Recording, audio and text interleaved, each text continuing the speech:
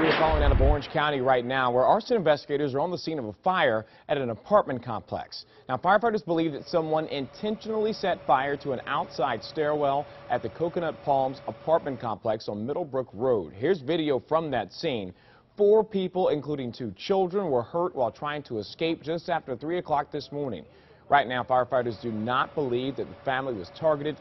You'll hear from one member of that family coming up at 6.30 this morning. Of course, we're continuing to follow more updates and we'll let you know as soon as firefighters know exactly how this fire started. Jason.